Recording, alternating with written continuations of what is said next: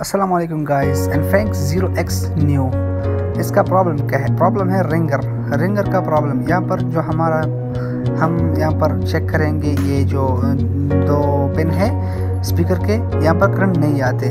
तो अब हमने क्या करना है? इसका रिबन चेक करना है। जैसे ही मैंने रिबन यहाँ पर ओपन किया तो इसका जो लेफ़्ट साइड था, वो टूट गया था। आप देख सकते हो वीडियो में। तो इसका लेफ़्ट साइड टूटा टूटा हुआ है, ठीक है? तो हमने अब इसको जंपर लगाना और कहाँ से जंपर लेने और कहाँ पर लगाना पूरा वीडियो देखो, ठीक है?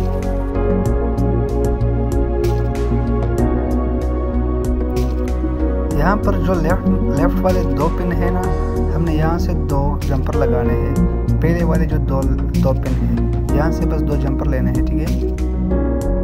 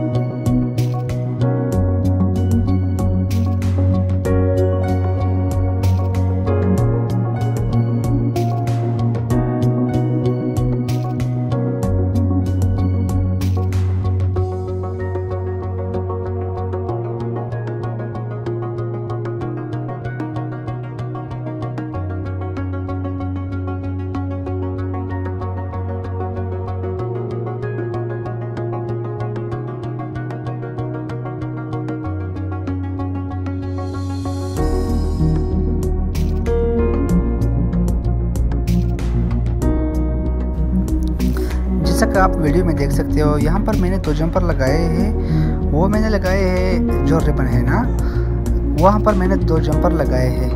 अब हमें क्या करना है? इस दो जंपर को कहाँ लगाना है? ये जो चार्जिंग स्टेप है ना, यहाँ पर हमने इस दो जंपर को भी लगाना है। ये दो जंपर जो है, ये रिंगर के वेज है, ठीक है? ये आप देख सकते हो। बहुत ही इजी आप देख सकते हो। यहाँ पर आपने भी जैसे मैंने किया वैसे ही आपने करना है।